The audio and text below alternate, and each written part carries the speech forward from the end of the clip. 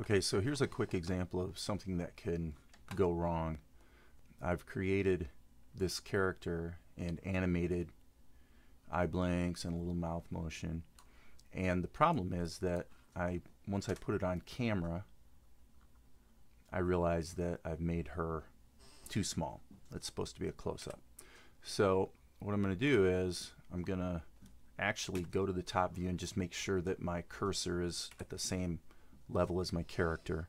It's always good practice.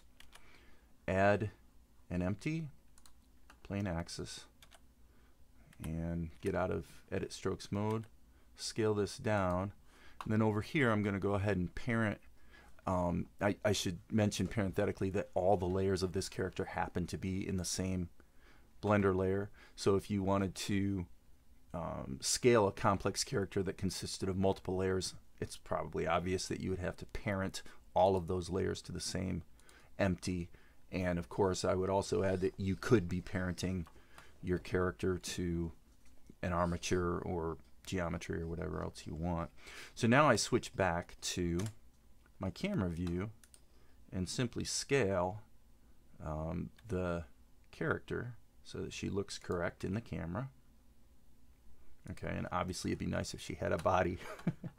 but as you can see, everything scales together because it's parented to the empty.